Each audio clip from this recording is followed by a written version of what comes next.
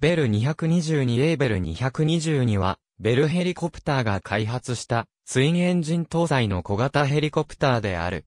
ベル230はこのヘリコプターに違うエンジンを付け、その他の機能を変えた改良型である。1974年、ベルヘリコプターは、ベル222という新製品の生産を発表した。ベル222は、米国初のツインエンジンを搭載した小型商用ヘリコプターとなった。ベル222は二重の油圧及び電気システムや、引き込み式の車輪を収納する谷翼、そして 214ST のために開発されたのだ。マティック製振動軽減装置などといった進歩した機能を数多く装備したヘリコプターだった。1976年8月13日発飛行、1979年12月に形式証明が与えられ、1980年初頭には生産、販売が開始された。メインローターの直径を大きくして、よりパワフルになったベル222バイトは1982年に販売開始され、ベル222バイトをベースに膠着装置を引き込み、式車輪からスキッドに変更したベル 222UT が1983年に開発された。ベル222の改良型がベル230で LTS101 型エンジンがアリソン250ターボシャフトエンジンに変更されるといった改良がなされている。ベル230型のプロトタイプとしてのベル222の地味な初飛行は1991年8月12日。トランスポートカナダは1992年3月に資格を与え、その年の11月に、ベル230の生産が始められた。ベル230は、オプションで、スキッド式とタイヤ式の着陸装置が選択できた。1995年、38機生産されたところで、ベル230の生産は終了され、ベルヘリコプターのラインナップによって、より大きくて力強いベル430の生産が開始された。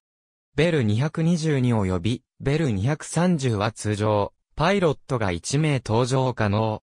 法人、行政、緊急医療、及び有用性のある運搬事業のために配置することができる。このヘリコプターには4列座席があり、パイロットも入れて8人まで乗ることができる。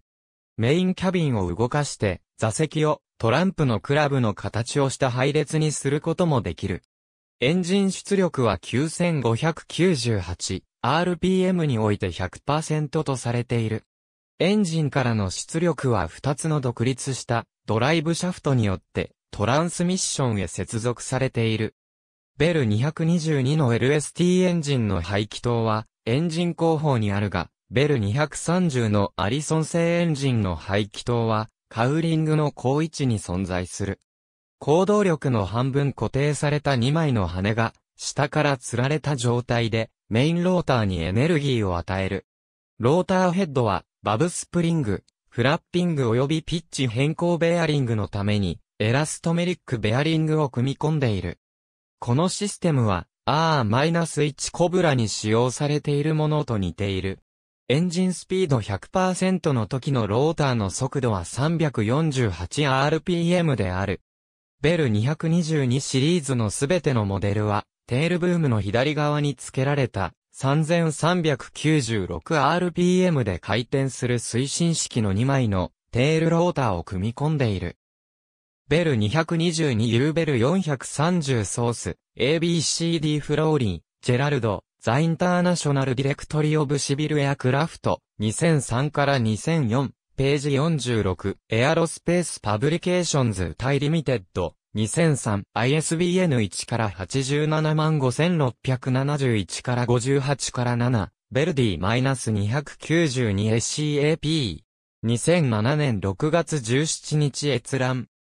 ベル 222&230PAGEONNIRLINER.net、ハットベルヘリコプターテクニカルデータ。helycopterdirect.com ハット bll222technicationairwolf.tv-seriес.com ハットシリアルナンバーズアーカイブド2016年6月20日、アットザウェイバックマシン。ありがとうございます。